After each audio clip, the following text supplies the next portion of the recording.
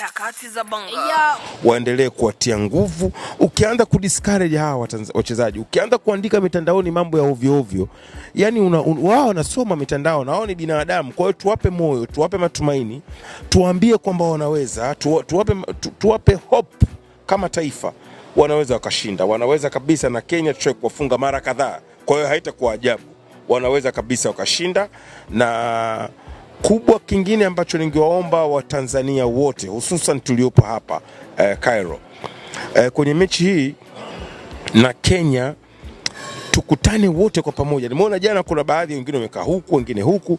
Kwa hiyo tuangalie namna ya kwa mobilize Watanzania wote tukae sehemu moja, wote tusupport taifa letu, tushangilie kwa nguvu pale. Mimi naamini Alhamis insha Allah panapo uzima na, na wachezaji wakaamua kujitoa kwa 100%, tunao uwezo wa kuwafunga Kenya.